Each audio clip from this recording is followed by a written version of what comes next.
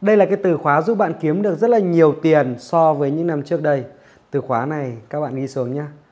Tạo giá trị lớn hơn cho thị trường. Nếu bạn muốn năm nay thu nhập cao hơn năm trước thì năm nay bạn phải tạo ra giá trị cao hơn cho thị trường. Nghe nó có vẻ hơi mung lung đúng không nhỉ? Thì thị trường nếu như bạn đang kinh doanh online thì thị trường đang gồm những ai? Có hai nhóm đối tượng đại diện cho thị trường. Thứ nhất đó là khách hàng, khách hàng tiềm năng. Số 2 đó là đại lý, đại lý tiềm năng. Đấy, hai nhóm đấy nhá. À vậy nên là hai nhóm đấy thì chúng ta lại phải chia thành bốn đối tượng đúng không nhỉ? Thực ra là bốn đối tượng. À, ví dụ chúng ta bắt đầu từ đối tượng số 1 là đối tượng khách hàng tiềm năng.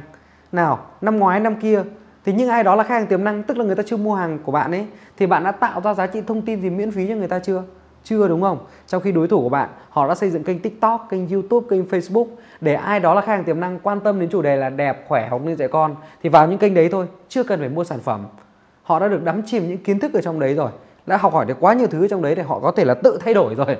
À, nên là gì ạ bạn phải học hỏi cái cách làm đấy của những người đã làm thành công hơn bạn của những năm trước là tạo ra giá trị thông tin nhiều hơn dành cho những người chưa mua hàng của mình đừng có lo rằng nếu như họ đọc được những cái kiến thức hay của mình những chỉ dẫn miễn phí của mình rồi thì họ không mua hàng của mình nữa không phải. Mua hàng của mình thì cái hàng của mình nó giải quyết được vấn đề là tiết kiệm thời gian cho họ.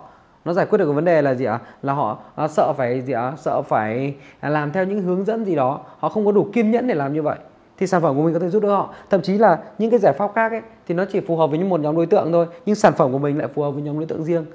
Đừng bao giờ lo rằng là mình cho đi nhiều quá thì mình sẽ không nhận được lại gì cả à, đối tượng số 2 đó là những khách hàng thực tế. Hãy thử thống kê xem năm ngoái số lượng khách hàng thực tế của bạn con số là bao nhiêu. Quan trọng là tỷ lệ mà họ hài lòng. Cái tỷ lệ mà họ chuyển hóa chuyển đổi sau khi sử dụng sản phẩm của bạn ấy. Trước lúc họ sử dụng thì họ đang gặp vấn đề là nám mụn rồi gặp vấn đề về nội tiết tố ví dụ kiểu như vậy. Hoặc là về sức khỏe. Thì sau khi sử dụng sản phẩm của bạn thì có bao nhiêu người đã thực sự giải quyết được vấn đề? Thì năm nay bạn vừa phải tăng số lượng khách hàng lên mà bạn lại vừa phải tăng cái tỷ lệ giải quyết được vấn đề sau khi sử dụng sản phẩm của bạn lên. Rồi cái nhóm số 3 đó là đại lý tiềm năng. Ai mà chẳng muốn thu hút nhiều người vào kinh doanh của mình làm đại lý của mình? Nhưng cái mấu chốt ở đây là gì ạ? Ai là người sẵn sàng tạo ra giá trị nhiều hơn cho những người chưa phải đại lý của mình thì lại hút được nhiều đại lý về phía mình? Đó là lý do vì sao mà các bạn cần phải xây dựng những kênh truyền thông như TikTok, YouTube, Facebook để làm gì? Để bạn có thể tạo ra những câu trả lời về những vấn đề của những người kinh doanh online ngoài đấy. Bạn hoàn toàn có thể siêu tập hàng trăm những câu hỏi của những người đang kinh doanh online hoặc là đang muốn kinh doanh online và bạn tạo ra hàng trăm câu trả lời tương ứng để bạn đưa lên kênh của mình thì kiểu gì người ta quý bạn, thích bạn bây giờ qua rồi cái thời khoe nhà, khoe xe, khoe iPhone 13 Pro, giống như cái điện thoại mà thế giới đang quay cho các bạn này này người ta bây giờ là khoe kiến thức, ai trao được kiến thức miễn phí cho người khác nhiều hơn thì người đấy sẽ có sự hút hơn uhm. cái số 4 nữa là gì ạ? Là đối tượng, đại lý. Tức là đang là người thực tế bán hàng của mình rồi. Năm ngoái thì bạn giúp cho bao nhiêu đại lý chinh phục được thu nhập? 50 triệu 100 triệu hay là 20 triệu? Thì năm nay số lượng đại lý của mình chinh phục được những thu nhập đấy phải nhiều hơn. Và gì ạ? Và tổng số đại lý trong đội nhóm của mình cũng cần phải nhiều hơn. Đấy. Thì làm sao để nhiều hơn? Thì mình cứ làm tốt cái phần chăm sóc những người đang có trong đội nhóm mình đi. Có một bí mật này rất là hay bạn thể hiện lòng biết ơn với điều gì thì bạn sẽ giàu có về điều đấy.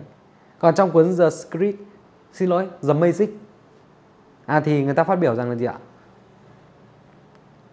Ai đó có sẵn lòng biết ơn với điều gì thì sẽ được ban tặng thêm và trở nên dư giả ai đó không có sẵn lòng biết ơn thì người đó sẽ bị tước đi và trở nên nghèo khó.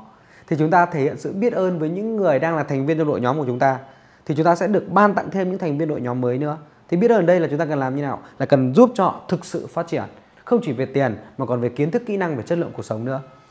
Thì um, thầy dự rất là mong rằng là dựa vào cái video này thì bạn sẽ tập trung hơn vào cái từ khóa là tạo ra cái giá trị lớn hơn cho thị trường thông qua việc là gì ạ?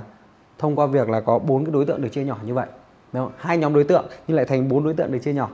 Và nếu như các bạn thực sự rất là muốn được sự kèm cặp của thầy dự trên cái hành trình này muốn trở thành những học trò kèm cặp một năm của thầy dự muốn được coaching được kèm riêng bởi thầy dự để năm nay là một năm đột phá với các bạn thì bạn hoàn toàn có thể tìm cách liên hệ với thầy dự có thể là qua zalo à, hoặc là có thể lên facebook hàn quang dự thì chúng ta sẽ trao đổi với nhau và thầy dự xem nếu bạn phù hợp thầy dự sẽ nhận bạn là học trò kèm một năm để trợ giúp bạn trong năm nay nhé.